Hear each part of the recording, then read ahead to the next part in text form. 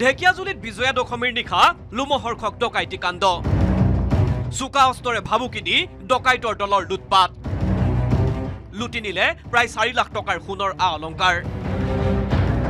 দশমীৰ নিশা প্ৰায় দুই বাজি ত্ৰিছ মিনিটত ঢেকীয়াজুলিত সংঘটিত হ'ল এই চাঞ্চল্যকৰ ডকাইতি কাণ্ড।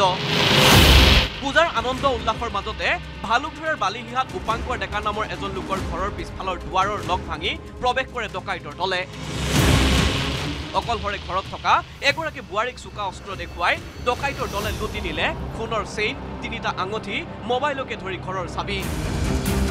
দুৰ্ভাগ্যজনক কথা এয়ে যে প্ৰায় ডেৰ বছৰ পূৰ্বে বিবাহ সম্পন্ন হোৱা মহিলাগৰাকী কিছুদিন পূৰ্বে পথেৰে আহি থাকোঁতেই চিলনী চুৰে কাঢ়ি নিছিল সোণৰ চেইন। পুনৰাই শাহু আৰু স্বামী ঘৰত নথকা বোৱাৰীগৰাকীক শোৱা পাতিতেই চোকা অস্ত্ৰ দেখুৱাই ডকাইতৰ দলে লুটি নিলে সোণৰ অলংকাৰ। ঘটনা সন্দৰ্ভত দুৰ্ভগীয়া পৰিয়ালটো কাষ চাপিছে আৰক্ষীৰ। কিন্তু দুধৰ্ষ ডকাইতৰ দলৰ সংসুত্ৰ উলিওৱাত এই পৰ্যন্ত ব্যৰ্থ ঢেকীয়াজুলি আৰক্ষী।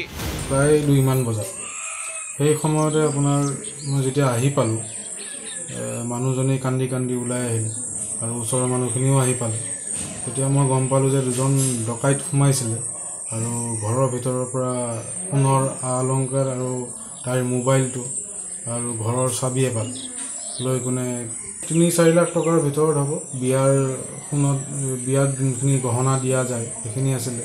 মূৰ আঙুঠি আছিলে ঢেকীয়াজুলিৰ পৰা Haren ভূমিজৰ report news eighteen Assam North East.